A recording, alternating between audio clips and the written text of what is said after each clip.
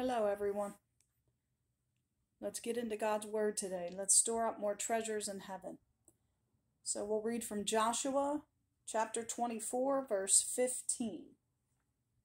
And it says, And if it seem evil unto you to serve the Lord, choose you this day whom ye will serve, whether the gods which your fathers served that were on the other side of the flood, or the gods of the Amorites in whose land ye dwell.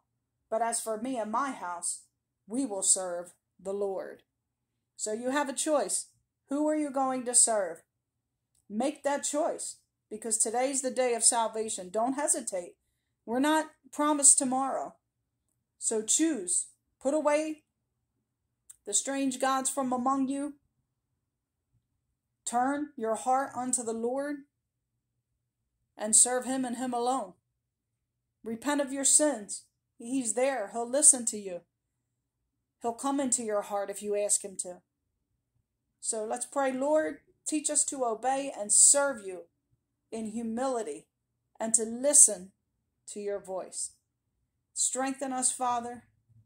Help those that are lost. I pray in your precious name, Lord Jesus. Amen. Amen. Come to Jesus while there's time. Come to him, serve him, do his work. He'll be with you. That empty hole, that empty space inside you, he'll fill it up. He'll strengthen you. He'll take away all your sins. He'll forget them as far as the east is from the west. He'll remember them no more. Come to him, give your heart to him, repent of your sins, stop doing what you've been doing. Please, I plead with you while we have time. Thank you, Jesus. Go to him. He's there. He hears you.